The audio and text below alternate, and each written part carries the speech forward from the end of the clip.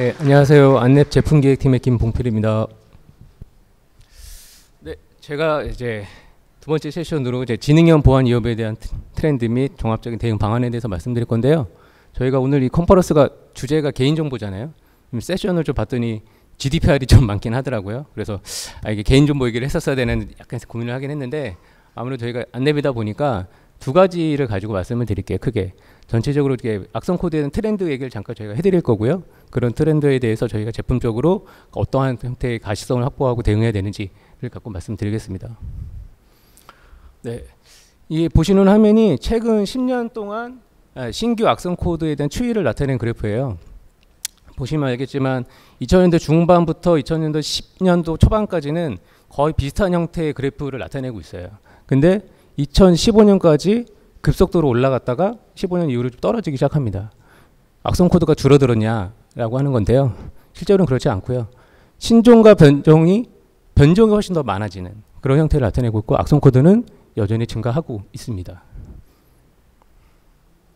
그러면 지금 유행하고 있는 악성 코드 얘기를 좀 드리면 저희가 거의 2, 3년 동안 세미나나 보면 많이 얘기했던 게 랜섬웨어 갖고 엄청 많이 말씀드렸었거든요. 여전히 악성 코드 갖고 얘기하면 예, 랜섬웨어를 가장 많이 얘기를 합니다.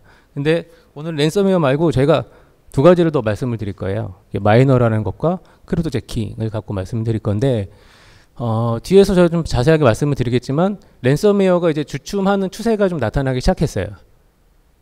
그리고 지금 랜섬웨어를 제가 말씀드리려면 먼저 가상화폐를 좀 말씀을 좀 드릴게요. 랜섬웨어가 발전하게 된 가장 근본적인 이유는 가상화폐가 가장 큰 몫을 합니다.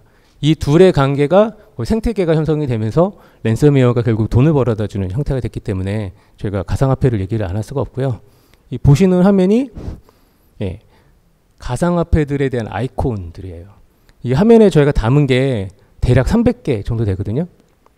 실제로 저희도 이제 조사를 하면서 알게 됐던 건데 훨씬 많은 악성 코드 아니 가상화폐가 가, 종류가 있어요. 약 1,900개가 넘는 형태의 가상화폐 종류가 있고요. 이 화면이 어, 가상화폐들의 시세를 나타내는 주식 차트처럼 나타내는 화면인데 보시면 재밌는 건 우측의 그래프 추이가 거의 다 비슷해요. 오를 때 같이 오르고요. 내려갈 때 같이 내려가는 추이를 갖고 있어요. 근데 이 시장이 시가총액을 따져보면 거의 400조에 육박하는 시장으로 보이거든요. 이 400조라는 금액이 어느 정도의 금액이냐면 저희 나라 1년 예산과 엇비슷한 금액을 가지고 있습니다. 이제는 이 시장 자체를 무시할 수 없는 시장이 된 거죠. 그러니까 상위 top10에 대한 암호화폐 시장에 대한 점유율을 보면 대부분 많이 알고 계시는 비트코인이 당연히 top에 있고요. 그 다음이 이더, 이더리움과 그 다음이 리플이라는 게 있어요. 이 top3가 가상화폐 시장의 점유율로 따지면 60%가 넘습니다. 나머지들은 다 1%, 2%인데 저 ETC에 있는 어나더들이 19%를 차지하고 있어요. 예, 보시는 차트가 2016년도의 비트코인 시세입니다. 연초의 시세와 연말의 그래프를 보시면 예, 연말에 125만 원에 마감을 합니다. 이 그래프는 2017년도 건데요. 작년부터 뉴스에서 매스컴에서 비트코인을 엄청 얘기하기 시작하면서 과열이 되기 시작하고 연 마감을 거의 1,900에 하는 예, 추이를 나타내요. 정리를 좀 해보면 2016년도 1월에는 50만 원으로 시작했던 비트코인 시세가 125만 원에 마감을 하고요. 17년도에는 1,918만 원에 마감을 합니다. 이게 1.5배 증가했던 게요. 14.3배로 증가하게 돼요. 그러면서 뭐가 달라지냐? 추이를 보시면 우측 화면이 1000달러를 기준으로 찍은 거고요. 1000달러가 상승하는데 소요되는 기간 1 daily로 보게 되면 그 기간이 점점 줄어듭니다. 근데 하반기로 넘어가서 4Q로 넘어가면서 거의 며칠 단위로 1000달러씩 올라가기 시작하죠. 이렇게 가격이 상승하다 보니까 결국 일반 사용자들도 달려들기 시작하고 과열되니까 결국 규제가 시작돼요. 중국에서 ICO를 규제하기 시작하고요. 이 ICO라고 하는 게 뭐냐면 증권 상장하듯이 IPO라고 얘기하잖아요. 가상화폐를 만들어서 등록하는 걸 ICO라고 얘기합니다. 중국에서 ICO를 규제하기 시작해요. 그리고 JP모건에서는 예, 가상화폐 자체가 사기다라고 어나운스를 하고요. 저희도 이제 ICO를 규제를 하기 시작하고 베트남은 지불 자체를 못하게 막습니다. 이러면서 2017년도 하반기에 가격이 상승하지만 예, 등락을 굉장히 많이 거듭하게 되고요. 뉴스를 보셔서 알겠지만 일반 사용자가 꼭지점에 투자했다가 떨어져서 예, 뭐 자살을 하네 뭐 하네 이런 얘기가 기사에 나오기 시작하죠. 네, 이때 공격자 추이를 좀 보면요. 예, 공백기가 생깁니다.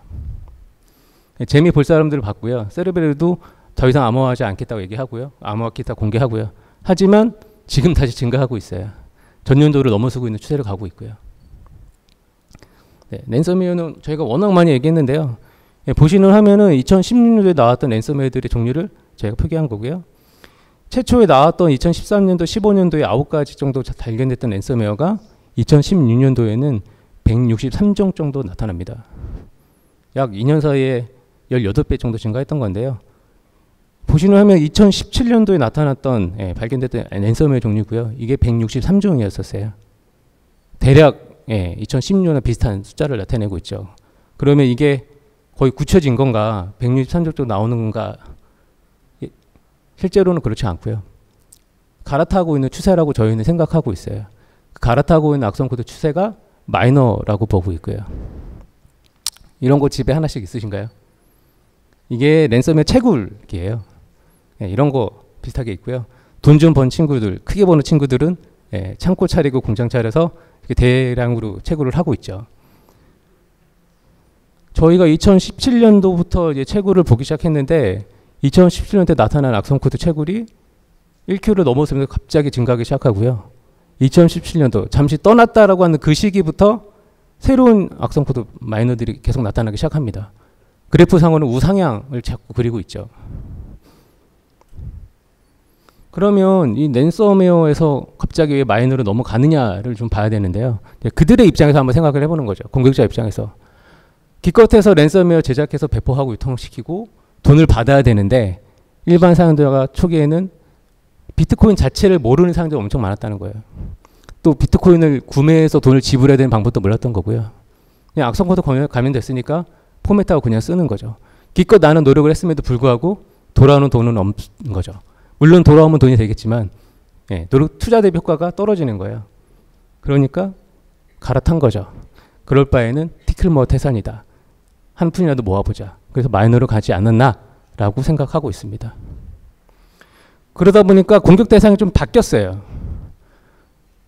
웹서버라든가 무작위로 공격하기 시작하고요. 일반인들이 잘 보지 않는 서버들까지 공격하기 시작합니다. 자원만 활용하면 되기 때문에 나사 서버까지 가리지 않고 타겟을 갖고 있고요. 예, 악성 코드들이 정말 다양하게 나타나기 시작합니다. 예, cryptojacking을 좀 말씀드릴 건데요. 저희가 옷깃만 스쳐도 인연인데요. 요즘은 웹사이트만 접근만 해도 감염됩니다. 어떤 식으로 하냐면요. 취약한 웹 서버를 악성 코드에 감염을 하고요. 심어놓고 사용자들이 접근하면 단말들이 접근하면 그 악성 코드가 내려갑니다. 사용자들은 어떠한 행위도 하지 않아요. 하다못해 액티브엑스를 설치하는 것도 아니고요. 웹사이트에 접속한 것만으로도 지금은 악성 코드에 감염되는 시대가 왔어요. 그 방식이 뭐냐면 실행 파일 같은 형태가 아니라 브라우저의 스크립트를 이용하기 때문에 사용자들은 잘 인지하지 못해요. 그 상태에서 악성 코드 감염되고 네, 정보라든가 중요한 자료들이 나가게 되는 거죠. 이게 기술적으로 얘기하면 drive-by download라고 얘기를 하고 있어요. 근데 이게 drive-by miner로 바뀌었어요. 기술은 같은 거고요. 스크립트가 바뀌었어요. 똑같이 웹서버를 공격하고요. 악성 코드 심어놓고 예, 악성 코드 내리는데 이제는 정보가 가는 게 아니라 비트코인이 갑니다. 열심히 채굴해서 돈 벌어다 주는 거죠. 그러면 어떻게 달라지냐면 이렇게 달라져요. 아까 제 실행 파일이 아니라 스크립트를 이용한다고 말씀드렸잖아요. 결국 스크립트라고 하는 건 브라우저에서 돌아가는 거고요. 갑자기 어느 웹사이트를 들어갔더니 단말에서 엄청 느려지고 CPU가 과점유가 나타나고 프로세서 CPU 사용률을 봤더니 예, 크롬이 CPU 100을 치고 있는 거죠. 이러면 좀 의심해 볼 필요가 있어요.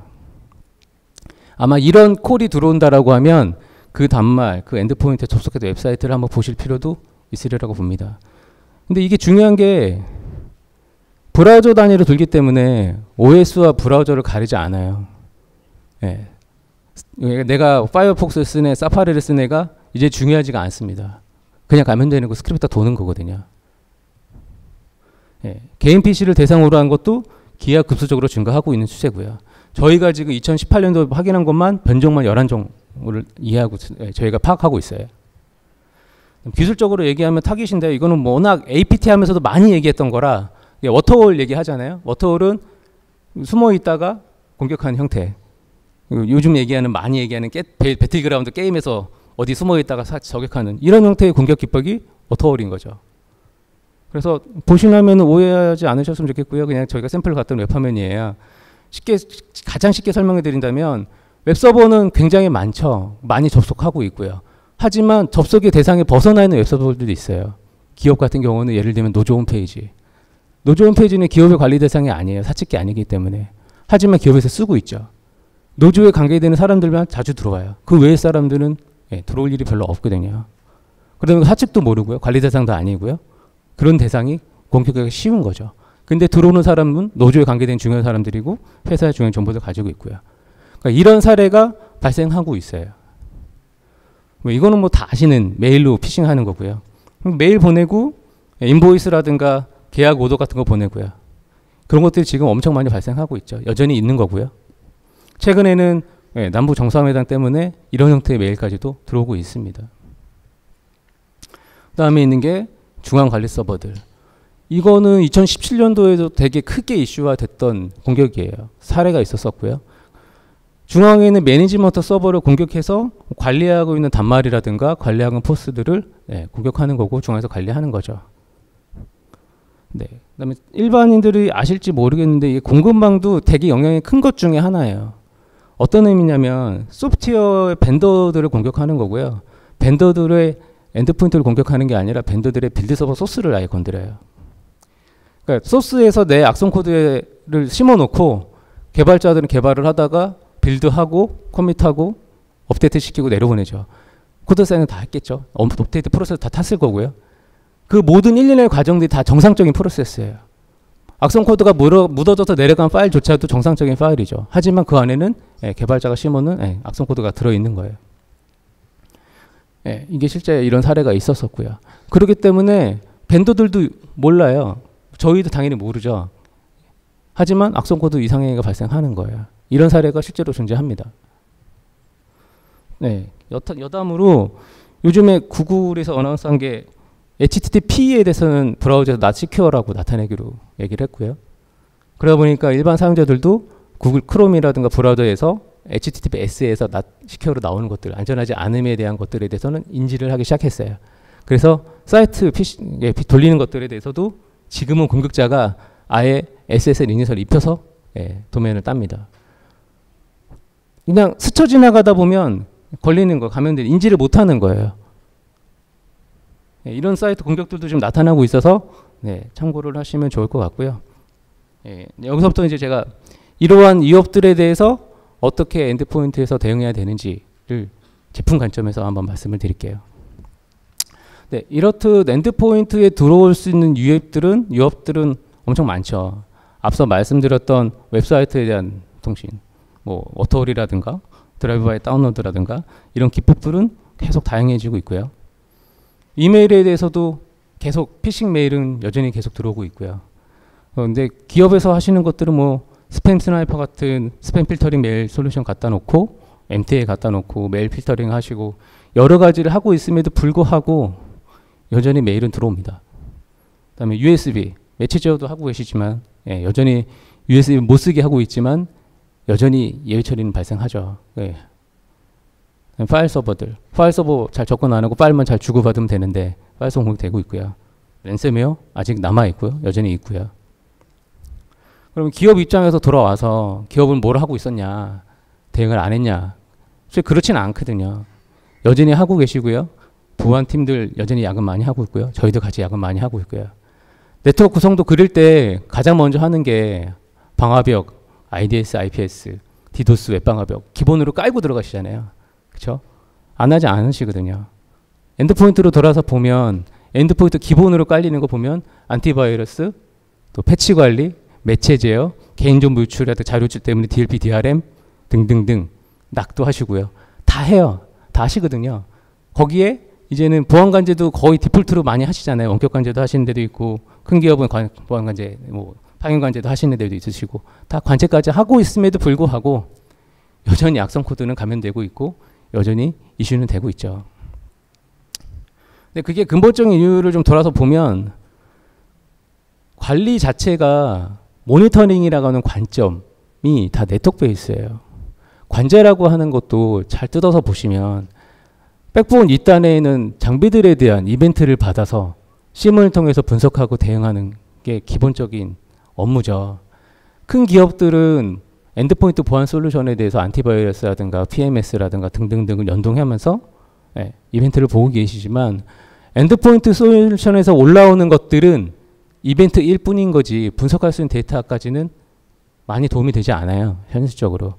이게 그동안에 관제 쪽에서 가지고 있었던 가장 큰 네, 문제점이죠. endpoint를 보고 싶었어요. 저희 쪽도 서비스가 있긴 하지만 관제의 대부분이 네트워크 베이스 관제이기 때문에 endpoint에 대한 needs는 늘 있죠. 올라온 악성 코드는 늘 있으니까요. 그러면 고객사에서 늘 얘기하거든요. 도대체 어떻게 감염된 거냐, 언제 들어온 거냐, 어떻게 된 거냐라고 물어보시는데 실제로 볼 수 있는 로그가 없거든요. 네트워크 안에서는. 아까 말씀드렸던 USB 파일 서버 알 수가 없죠. 왜? 내 트래픽이 네트워크 위로 안 왔으니까 장비들이 이벤트를 발생시키지 않았기 때문에 알 수가 없는 거거든요. 이게 가장 큰 문제였었어요. 네, 그러면서 EDR이라고 하는 게 언급이 되기 시작하는데 어떤 의미냐. endpoint를 보고 싶었음에도 불구하고 SIEM이 로그를 받지 못했죠. 네. endpoint에서 발생하는 이벤트 자체가 어마어마하거든요. 브라우저 하나 열고 웹사이트 한 번 들어가는 것 자체가 이벤트로 따지면 세네 번의 이벤트예요. 노드가 만 개면 네. 300만, 10만 번에 가깝게 되는 이벤트가 발생을 하죠. SIEM에서 그 로그를 EPS로 받는다라고 하면 기본 EPS가 10만이에요. 근데 이 사람이 엄청 열심히 일했어요.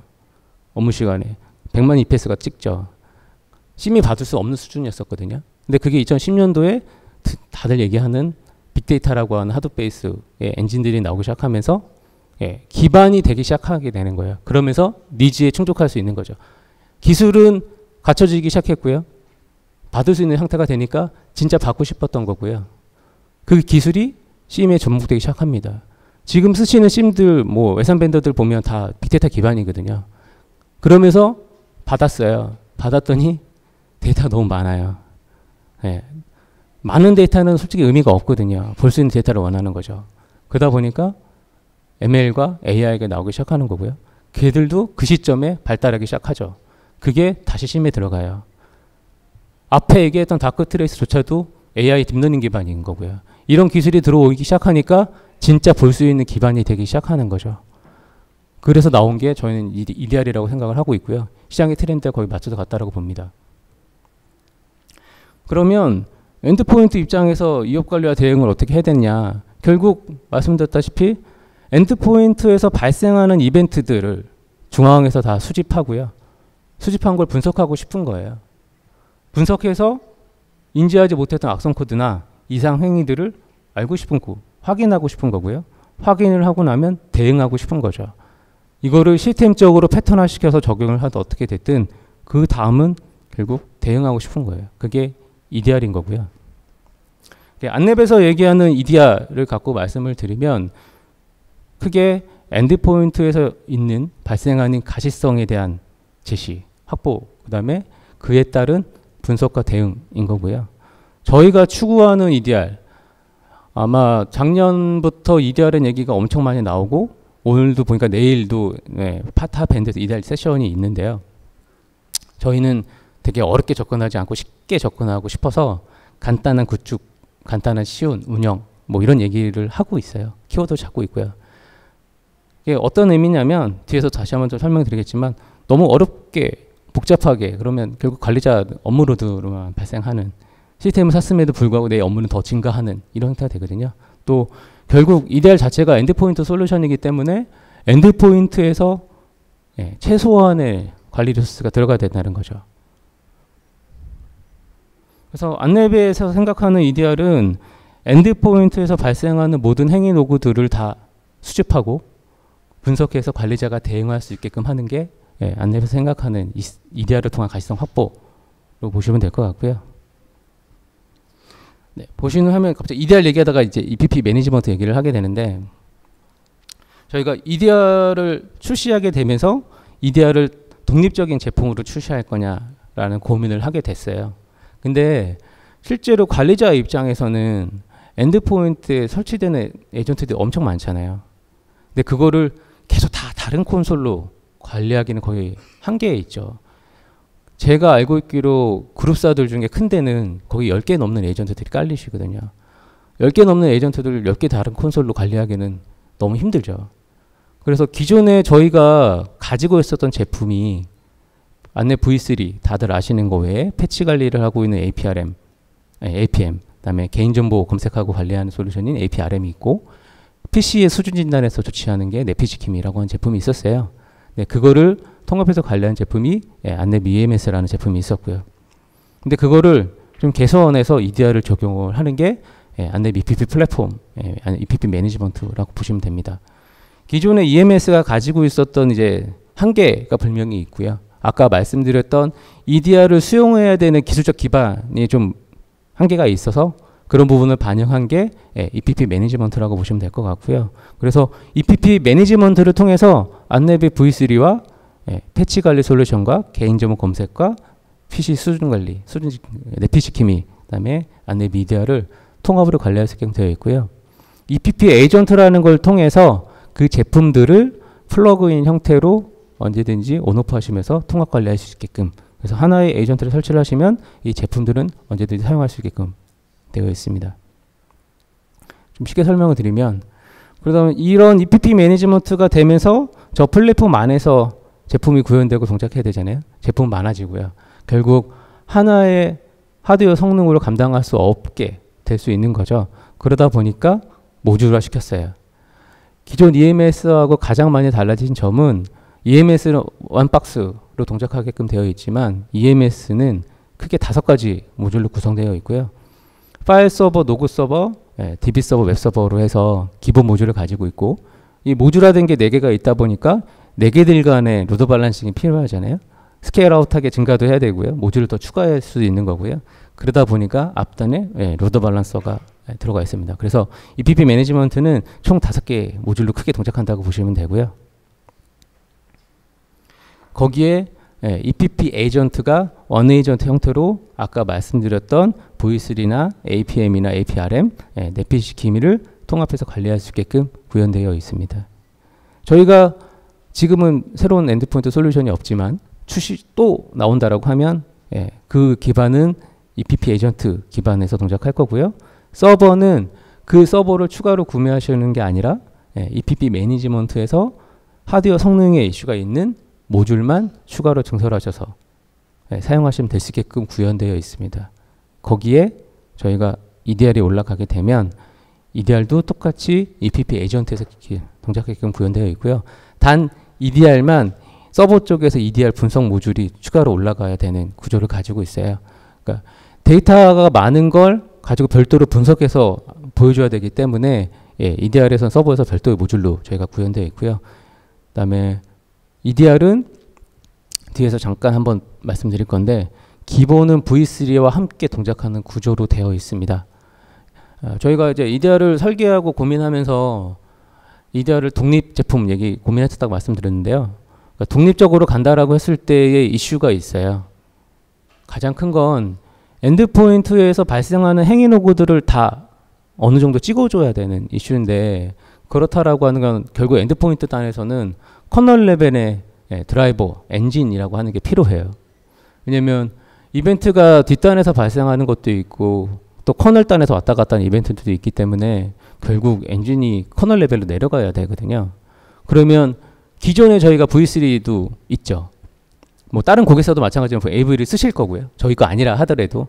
근데 일반 분들 많이 기억하실지 모르겠지만 저희가 엔진이 V3에도 한 두세 개 되는 엔진이 들어가 있어요.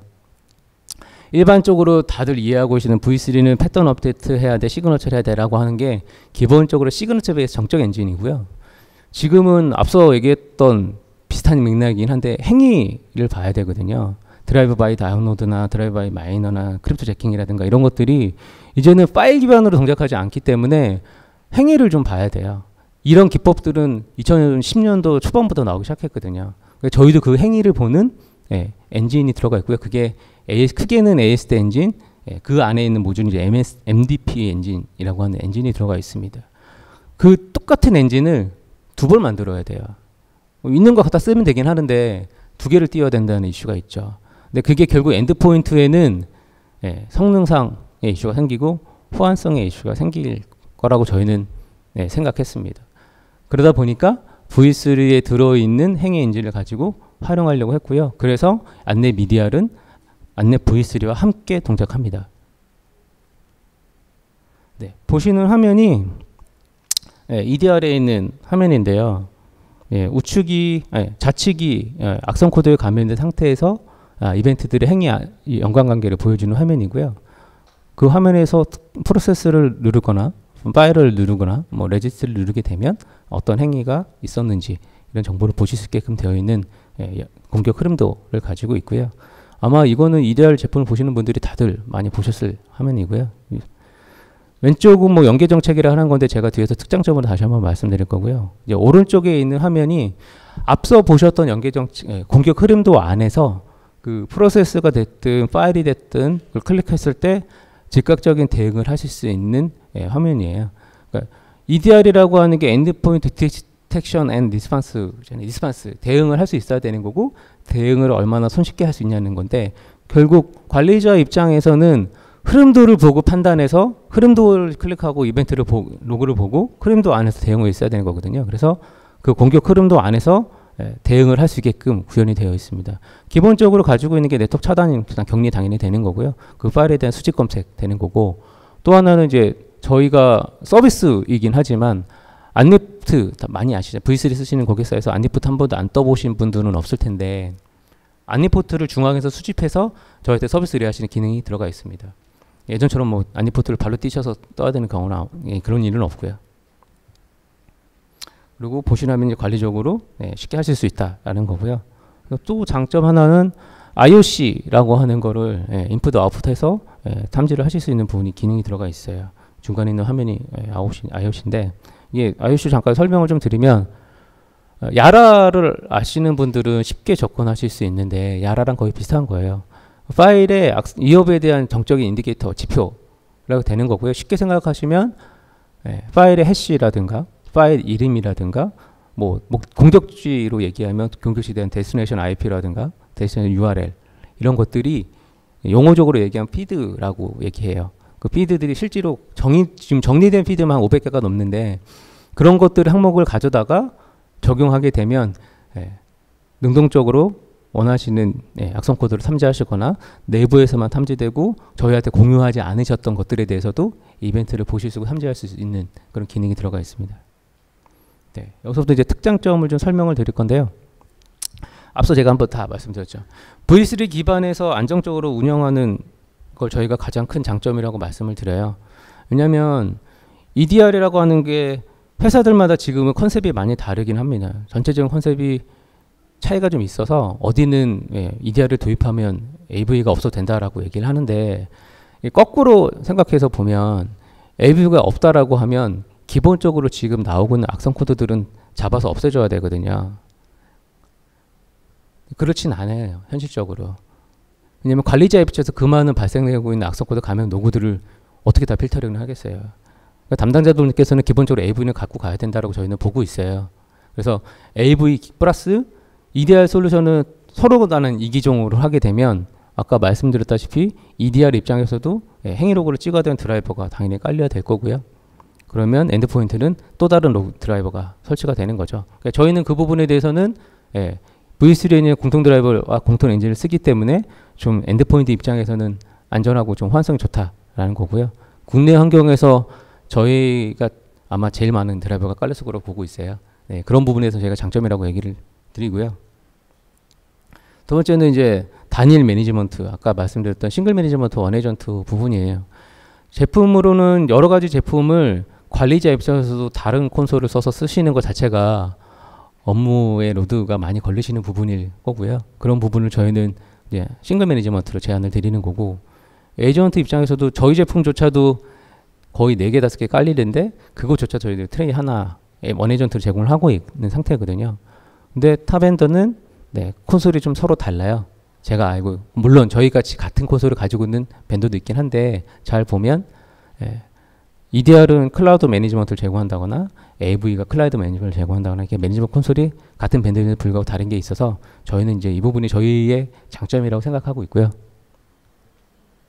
그다음에 가장 크게 개선한 것 중에 하나가 기존의 EMS는 여러 가지 제품을 걔도 예, single management 형태로 제공을 했었는데 솔직히 제품 간의 시너지는 되게 부족했었어요. 그러니까 single management와 one agent라고 하는 컨셉에 대해서는 예, 이견이 없는데 그러면 내가 V3를 쓰고 패치를 썼는데 두 개 쓰는 거에 대한 장점은 뭐야? 나한테 오는 이익은 뭐지? 라고 여쭤보시면 솔직히 좀 제가 고민되긴 했었거든요.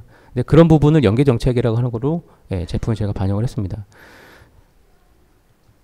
그러니까 V3와 뭐 APM과 APRM이라는 제품을 같이 쓰시면서 그 관리자 입장에서 모니터링 하셔야 되는 포인트들이 있거든요. 예를 들면 V3는 엔진 업데이트가 잘 됐는지 수동 검사, 예약 검사들을 정기적으로 잘 했는지라고 하는 부분들이 기본적으로 보시는 항목들이잖아요. 또 패치 같은 경우는 기본적인 패치율, 패치를 잘 하고 있는지를 보시는 거죠.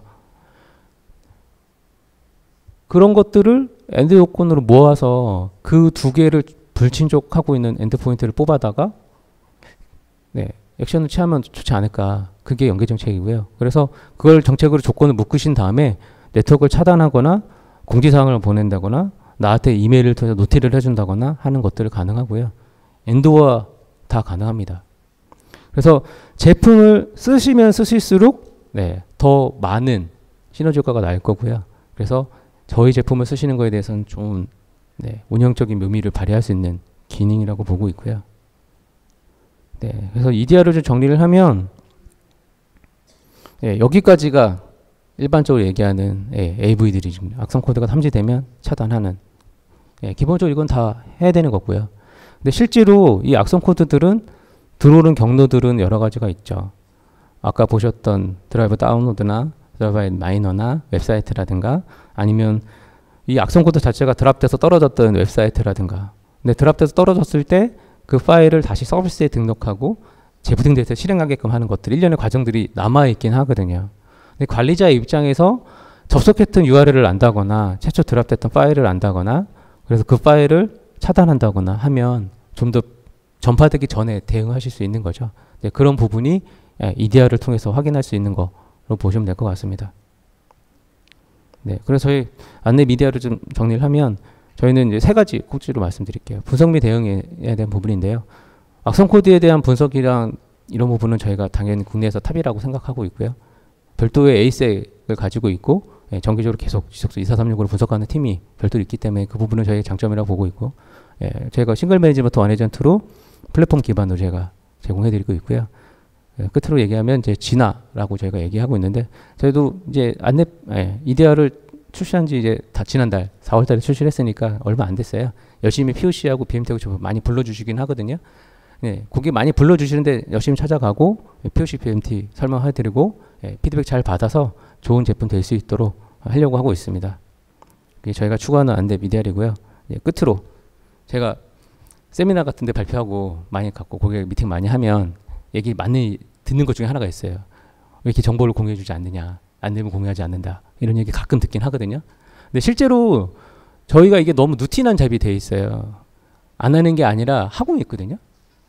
예. 안넷닷컴에 들어가서 보시면 부안 정보라는 페이지가 있고요. 그 안에 최신 보안 뉴스가 있어요.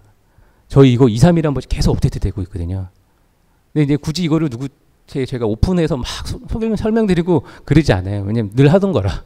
보시면 날짜도 거의 2, 3일에 한 번씩 계속 올라와요. 예, 자주 오시면 최근 올라온 악성 코드라든가 랜섬웨어라든가 GandCrab이라든가 공격 기법 계속 업데이트하고 있고요. 오늘 말씀드렸던 drive-by download도 저 2016년도에 업데이트 해놨던 거거든요. 저희가 오늘 하는 게 아니에요. 예, 2년 전에 벌써 했던 거거든요. 다시 써먹는 거죠. 네. 그래서 여기 오시면 좋은 정보 많이 있으니까 많이 보시고 예, 많이 얘기해 주시고요. 예, 끝으로 남아있는 세션 잘 들으시고 궁금하신 건 저희 앞에 부스가 요 앞에 정 가운데 부분에 있습니다. 오셔서 이달 제품 보시면 예, 도움 되실 거로 봅니다. 네, 여기까지 마치겠습니다.